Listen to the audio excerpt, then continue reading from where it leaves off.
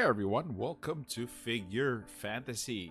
It is evaluation time of SVIII or S8. Yeah, I think it's called S. Yeah, she's called S8. So S8 here, uh, we're gonna be reviewing her skills. Is she going to be worth pulling for or not? Okay, so she is with Knight 9, uh, obviously, and uh, she is of Vanguard in terms of your type of figure. So this is just her uh, summary. So gives a charm state with a secret technique. Cannot activate secret techniques on enchanted enemies. So effective against Tenkai defensive battles and some large bosses. So let's. Uh, her rating is an eight out of ten. So in the tier list, in the Japanese tier list, I've seen that she's a tier A as you can see here.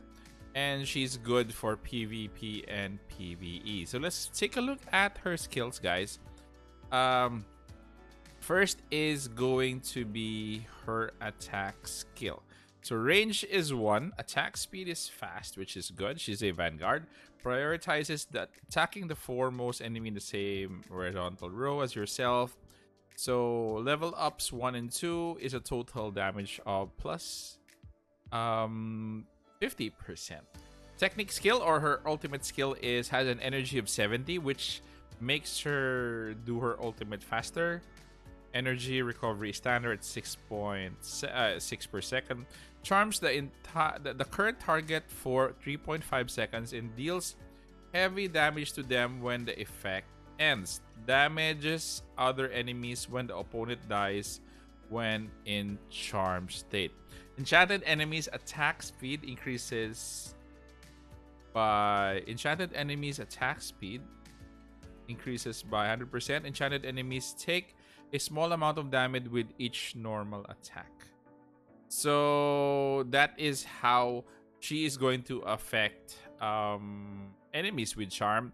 Her passive skill is normal attacks have a 25% chance to deal massive damage to the current target and enemies behind it and heal yourself. According to the damage amount, uh, level up effect, when Charmed is activated, normal attack becomes double attack for 3.5 seconds, increases own attack speed by 8% when passive activates. And last is her specialized skill. Uh, increases evasion by 15% and recovers HP after dodging. Increases own attack speed by by attack by 5% and decreases um, by uh, and defense by 10%. Evasion uh, rate is up by 20%.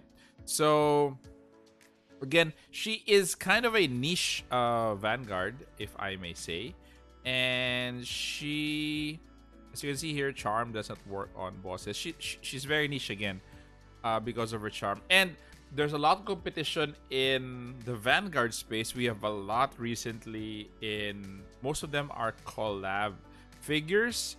Um at this point, I'm not really here are her pairings on who you should pair her with. So we have Zephyr, we have Maki, and we have Zerola. Okay? So skins that she has, this one is um I think this is one this one is her skin. Um just want to give you outright guys a my thoughts on her. Again, she has a lot of competition in the Vanguard category. Um if you want to get her, I, I suggest you get one copy of her probably and or two copies of her. Um she's not really um a sought after figure at this point. Because as you know most of us are saving for collabs for our um, fully wishes. So at this point there are a lot of options for her for you know for for vanguard position. And she will just be basically an add-on to the roster. Nothing too special. Um, again she's a niche vanguard and more or less that is my take on her if you wish to get a copy of her, be my guest so that you could purchase copies of her in the store, the most store eventually. Because if you don't get a first copy of her, you can't purchase a copy in most stores. So that is it, guys. That is my evaluation of S8. So hopefully this helped you in deciding if you want to pull her in our first anniversary update. So thank you very much, guys, for staying this far. Take care, stay safe. This is the Warden, and I'm out of here.